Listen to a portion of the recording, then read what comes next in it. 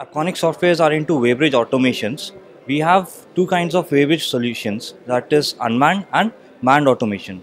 For unmanned automation, the product name is Goodsmon, which uh, are into vehicle tracking and uh, solutions. In, in this product, we take the complete data of a truck that is coming in the plant premises uh, with all its uh, weighing data and its uh, vehicle tracking data.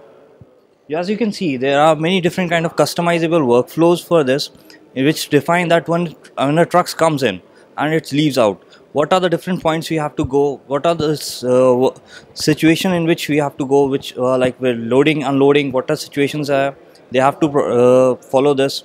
This is all the customization workflow which have to be defined as a software. And there are different analytics which we do, like time analytics, in which it is defined that a truck that is coming the premises should be within which time it should be. That's all about Goodsmon. If you want to visit our website, it's uh, www.apconic.com.